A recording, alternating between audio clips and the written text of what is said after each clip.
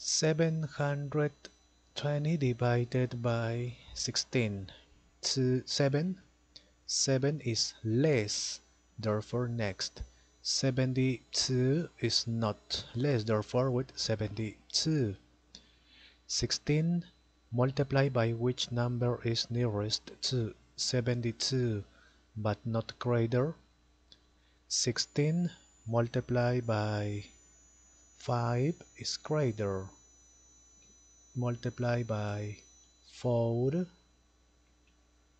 64 is not greater okay. Subtract 8 next 80 16 multiply by 6 is greater.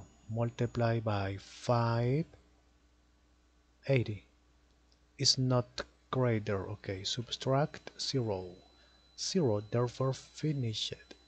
Okay finish it because here there is not number okay?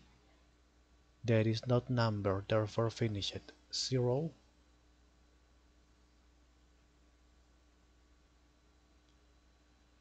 720 divided by 16 is here. Okay